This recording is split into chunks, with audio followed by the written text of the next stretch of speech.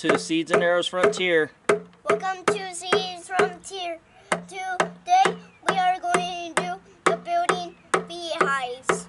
Good job. And to Give them a place to work and make us honey. yeah. Look at you hammering away. Good job. You finished? Yeah. That was hard work, wasn't it? Hey everybody, it's Mike with Seeds and Arrows Frontier, and uh, we're out here with three generations here.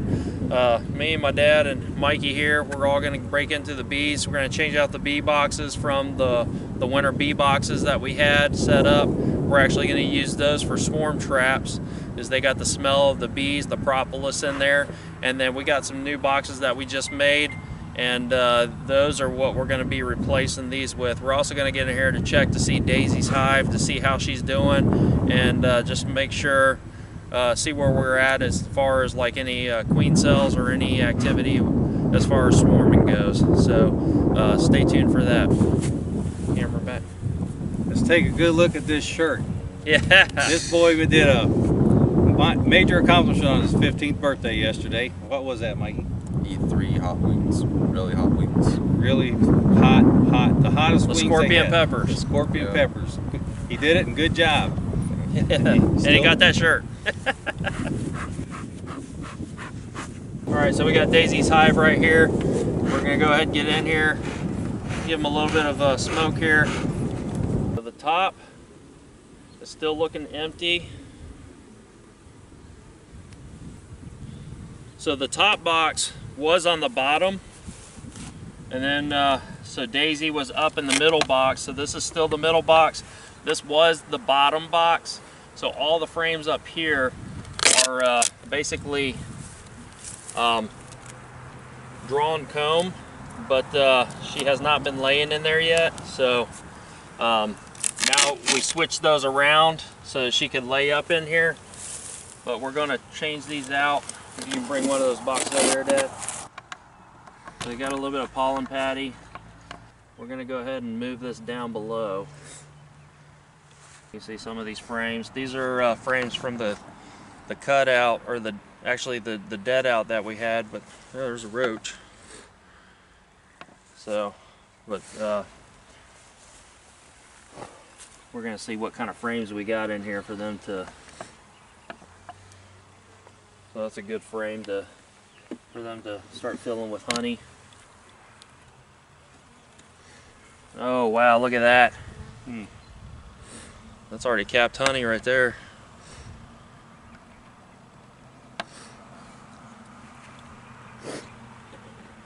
So we'll keep that up here.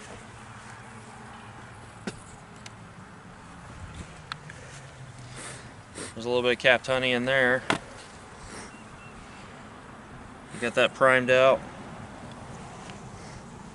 We might actually keep this down below because it's got uh, some uh, areas for the queen to lay in. You get the puff of smoke. It's like they're bringing in red pollen. Can you see that, Mikey?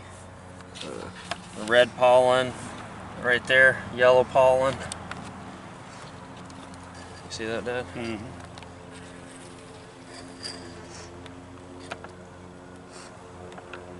Pretty cool.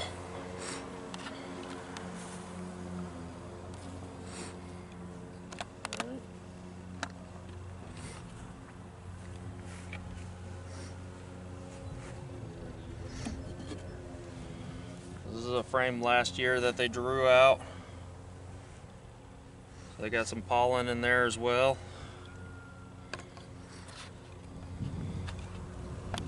Looking good. There's another frame they drew out. So they got all these uh, cells empty, ready to go.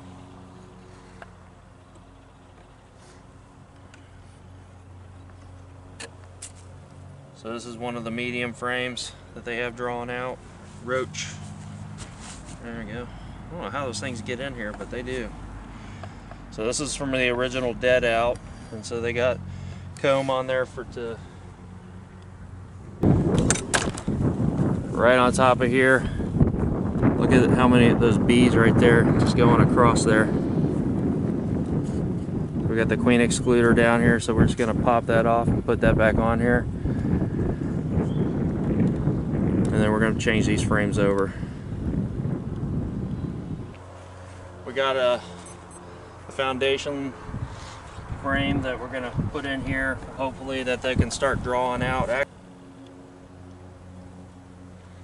Oh, there they go.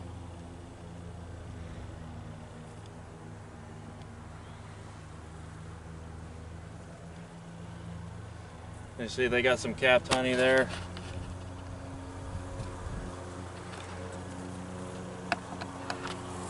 Some capped honey over here. Oh, look at all that pollen, that red pollen they're bringing in there. Beautiful. So they're already bringing in uh, some nectar, looks like.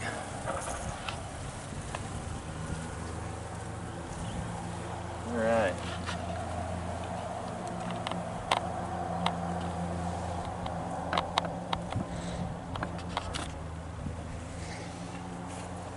Nice.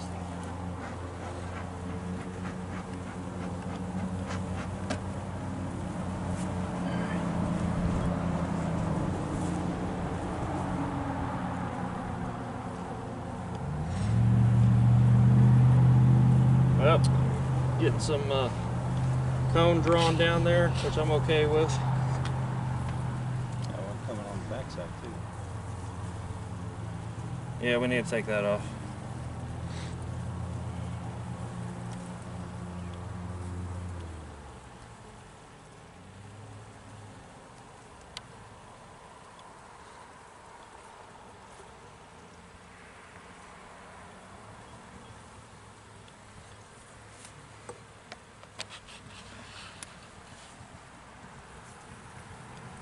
Getting some nectar in there.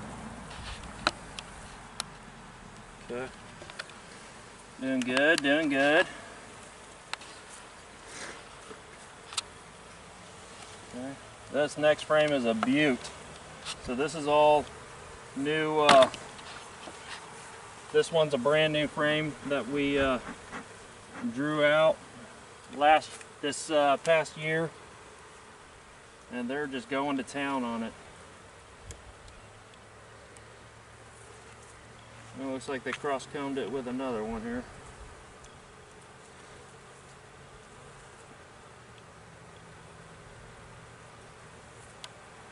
Look at that. So I'm looking down here to see if there's any swarm cells or anything like that. Oh, there they go. They're coming apart.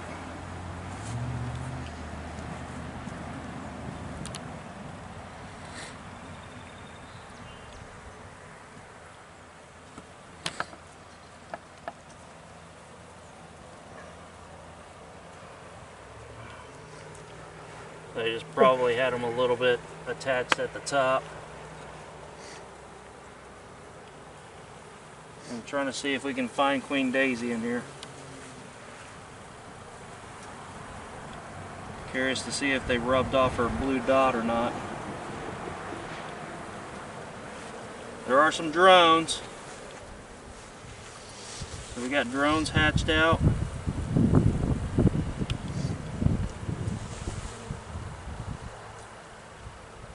Couple of fuzzy bees here. Fuzzy wuzzies. Fuzzy wuzzies. Where's that? Where's the camera angle at? You see some of those uh, brand new bees with the dust on them right there in the center.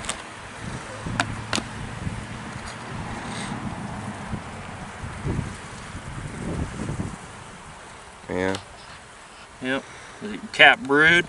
It's a good sign. Don't see any like uh, queen cells or anything like that, which that's okay, but actually I want to get this up here off the ground. Well, the bees at least they'll come over here. Is that more of a good thing or a bad thing that there's no queen cells? Well, right now we're we're kind of wanting queen cells to grow our operation, but I guarantee you when their numbers are getting high, so when they uh, and they got full cap brood right now, or at least a lot of cap brood. So I see some drones over here, drone caps.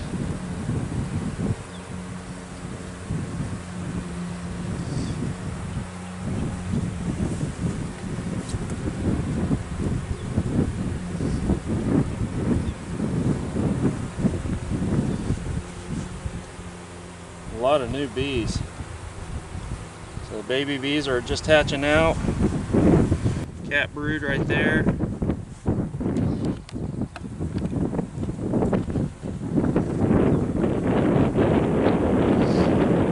Larva. Their eggs right up in here. So she's she is. That's the drones. Cap drones. So they are leaving some drones. Got decent numbers. So we got cap drones over here.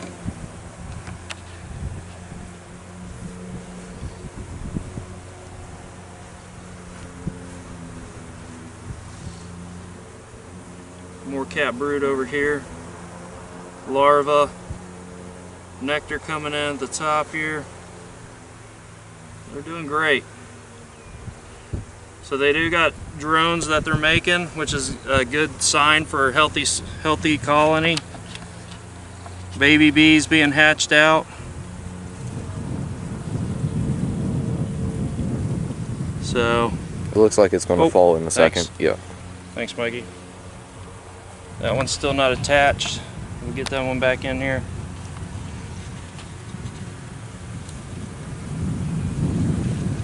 I don't know. Daisy may be down below. There's a lot of bees down below in the bottom box as well.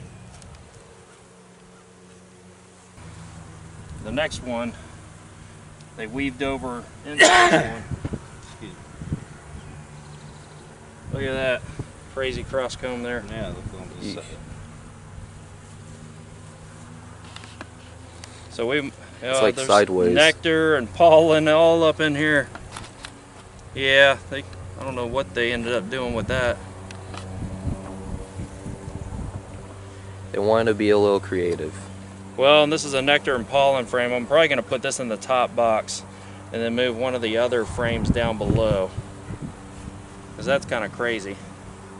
And I don't want it to interfere with the other ones. So, we'll set this one aside. Clean that bottom board off there.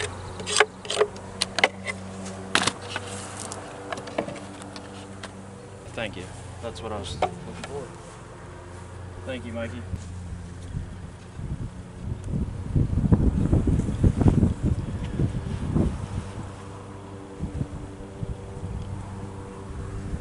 Oh, there's Queen Daisy. Oh, really? Yep. Yeah, they cleaned they completely cleaned her off. She's right in the middle there. Well, good. Glad you found her. Where is she? Right in the middle. Uh, See the, the bees tending to her? oh, She's yeah, got a I see lay egg actually. She's got an egg coming out right now. She's trying to look for a place to lay. Right down there. Yeah. Look at her. She's getting ready to lay. Isn't that cool? Yeah. Man, they completely cleaned her off. You get her right there. So she's looking down in that hole right there to lay an egg. They Where- completely Point where she is again? They completely took that blue spot off of her. But man, she is doing fantastic. I mean, she's got like drone drone brood coming out, and she's taking every cell up right here. All right, it's kind of chilly, so I'm gonna get her back in there.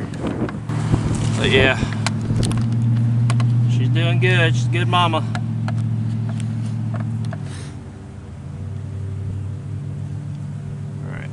The bees are really starting to take off over there. Yeah. So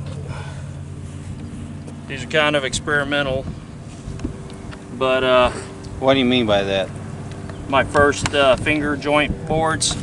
You can see the finger joints on the side here.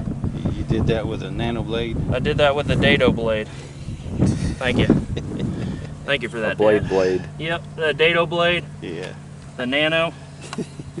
what my dad calls it. But uh, so I wanted to make sure that I was having enough room. So on these, I uh, this box, this top box was my first one.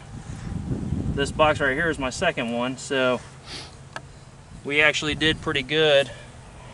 But I realized that uh, it was a hair too short. No, they're already starting to work on that. Yeah. Yep. So uh, it was just a hair too short. So what ended up happening was I had to put some thinner pieces of board in here so that way uh, the frames would actually fit in there. Yeah, I drew just a little too far apart. So my next one I made shorter, but then the ledge on the sides are open. So I had to make sure that the, the longer one is on top and the shorter one is on the bottom. So I think that's how that's gonna go. This is a short, this is a shorter one. Or the shorter, yeah, the longer one's on top, the shorter one will be on the bottom. Get your thoughts straight. So, so you want to videotape that? So now, this this assembly right here will be perfect. They got the longer one on top, shorter one on the bottom, so the rain would fall down, not into the hive. Make sense? Know, All right. So these were the uh, the frames that we got from the cutout. Well, this, this is just a foundation frame we added in there. But the, these right here we got from the cutout. You can see that they're not working on this one.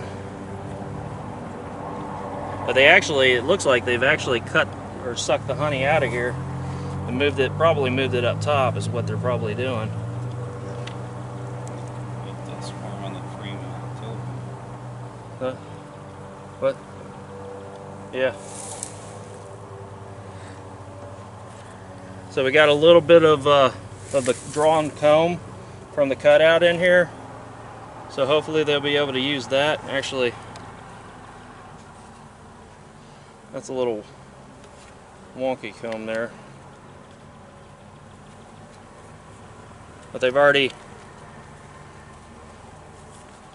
I'm gonna actually cut that part off. Hold, hold that up against her there.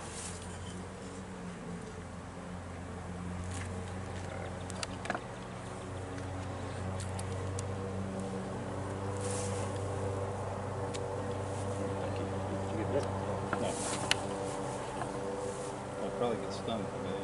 Probably.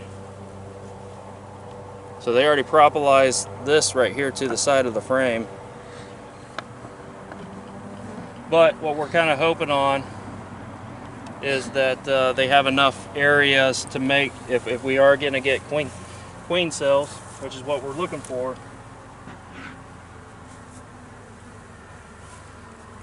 we're looking for them to make some uh, swarm cells so that way we can uh, break them up and split the hive.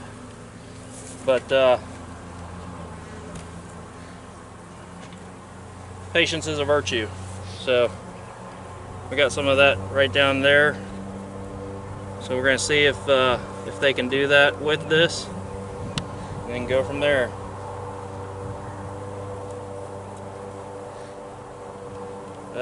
Yeah, they got some of the. Oh, geez. So That's they actually got the brood on there, so they're covering the brood. But now it's stuck to this frame right here. That's not good.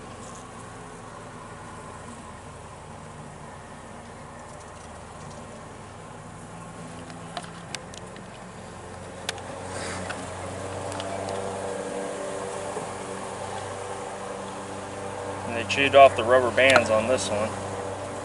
Oh, they got some new comb there.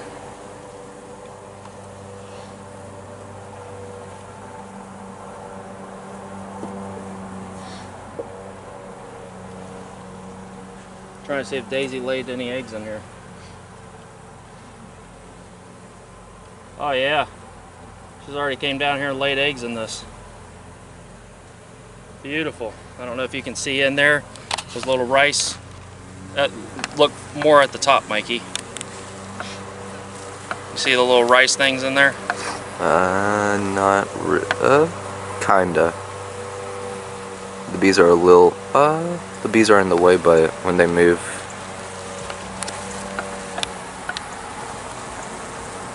yeah, you can see them. Cool. I don't know what I'm gonna do about this one right here though. I mean, they got cap brood in it. That's a little frustrating. There, bees. What do you expect them to do? Cooperate completely? Yeah, exactly, Mikey. Yeah, it looks like Daisy's already laid in here too. Uh, I, I was hoping that with all the bees that are tending to it. Yeah, so which is good because I mean that means that they've accepted the swarm and accepted this hive uh, as their own, as you can see. So we had to take it off of uh, this frame right here. So we're not going to put, we're going to have to do a foundationless uh, in order to keep that straight, but hopefully they'll be able to seal that up and if they want to make queen cells, they can make them off the sides there. We at least got that in there.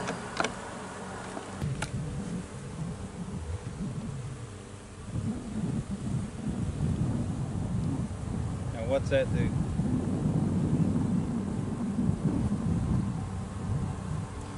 So these are the beetle blasters. So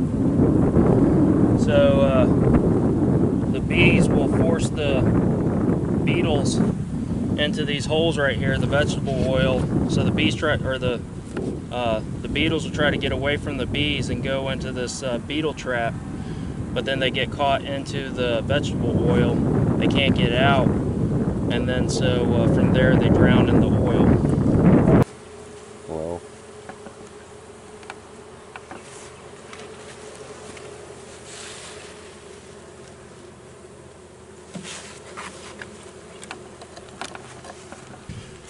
Got our honey frames.